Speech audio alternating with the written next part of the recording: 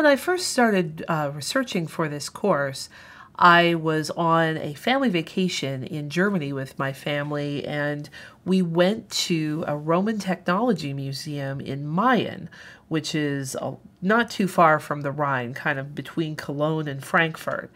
And there they have a number of Roman machines reconstructed. And this, in this animation, is a reconstruction of a water wheel powered marble saw. Uh, here, the water wheel isn't running, but this would uh, be able to power two different saws working simultaneously, kind of moving back and forth the way that you see axles uh, on a train, cutting marble slabs.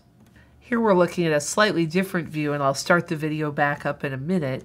Um, I want you to know that this particular uh, marble saw is based on images from a Roman tomb.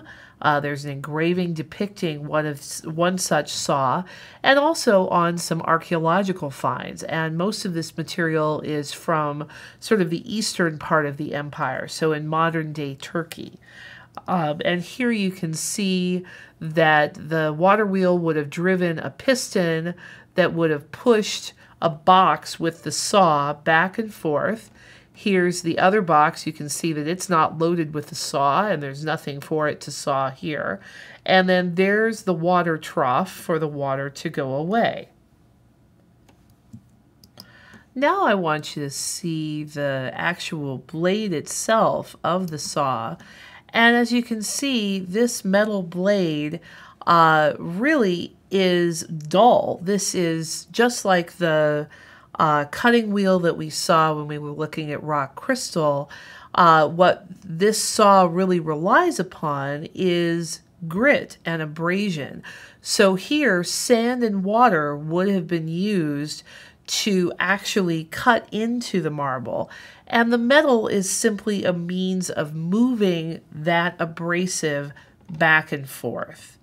And if we take a closer look here, and then I'm going to pan out and show you um, some of the, the material uh, that we have next to the saw. Uh, here's a smaller version of a saw that I'll show you in a moment. You can see some of the wet sand and grit uh, that is used that that you is left over there from actual slabbing, and you can uh, actually work with this saw, moving it back and forth. Um, and then adding sand, using water to pour away some of the excess. And this is just regular old playground sand and water. Uh, you can see them here in these buckets at the museum.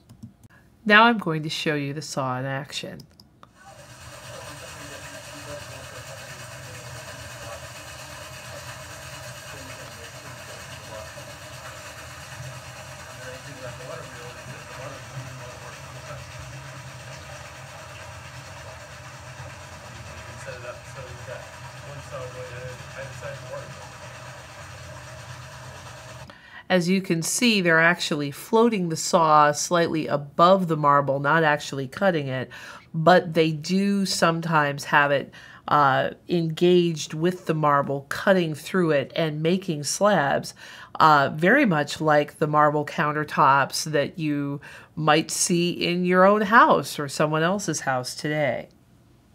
Just about a year after I went to Mayen and saw the Roman marble saw at uh, the Technology Museum there, I was in Carrara, Italy, doing additional research for this course. And I took a tour of the marble quarries and some of the workshops. I got to see a sculptor at work. And one of the most fascinating things was this modern marble saw in Carrara. And what I found out is that it works on exactly the same principle as the Roman saw we've been looking at. Uh, that is that it's using water and an abrasive. In this case, the abrasive is probably industrial diamonds actually on the blade, but you can see the water is there to help lubricate and also get rid of the excess marble dust uh, as the, the marble is being cut into slabs. So let's see it in action. There we go. seconds on video of the, the things.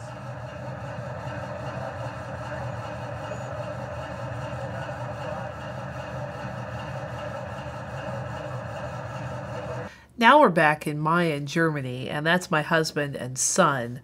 Uh, at the time, my son was eight, and he's 10 now as I'm recording this. Um, but they are going to demonstrate first a small version of the Roman saw. This is a hand powered version, of course, and then a larger version. So let's see those clips. Yep, Keep going, Will. Yeah, we might have a third person just putting water into the cut the whole time we were doing it. That's their, their, their job, keep adding water. Just add water. Okay.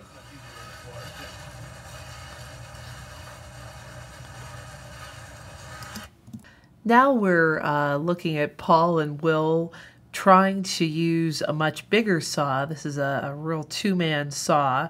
And uh, after they're done with this, I'll show you some of the, the cuts that were made. So let's see them in action again.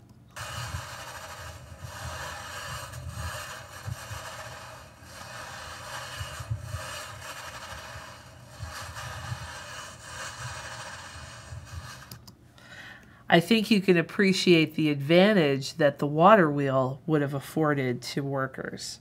The last thing I want to show you are some actual cuts that were made with the different saws that they have at this technology museum in Mayen. So here we'll, we'll play the clip and you can see some of those scraps. They look a lot like what you would find at a building store or if you went to uh, a marble countertop place in a city.